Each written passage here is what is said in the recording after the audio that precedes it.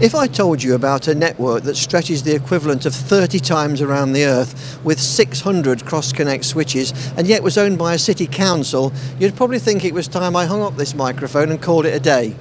But it's quite true. It's owned by Stockholm City Council, it's called Stokab, and its CEO, Staffan Ingvarsson, is sitting right beside me.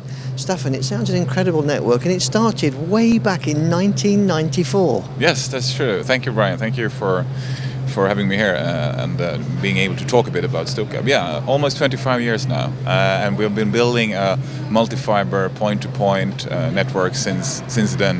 Uh, I think we've invested about 500 million euros for the last 24 years into the network, all on earnings and loans.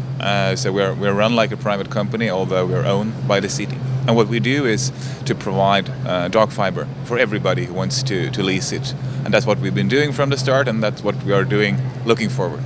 So what does that enable? What it has enabled is that we have today uh, in, in my network uh, over 900 customers, 100 service providers and operators. You can lease uh, a fiber pair if you want. You can start with your two empty hands or like an empty fiber pair, so to speak.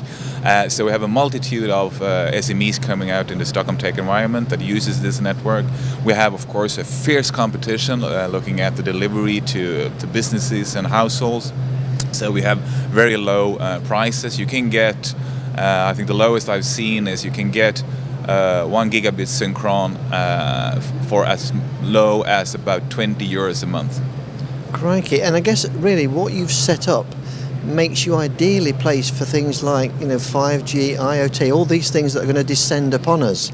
Well, we hope so. We have, uh, I think, we have created a level playing field. We have created a market uh, for for the players that are there today, and what we aim to do is to bring that market also to the world of IoT and 5G. We have today four 4G LTE players uh, in Stockholm. Stockholm is not that big; it's about one million inhabitants.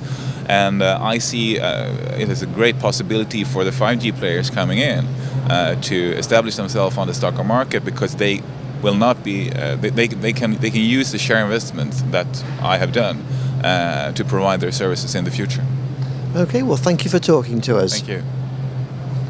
So, Stockholm, the city in Europe for 5G and IoT?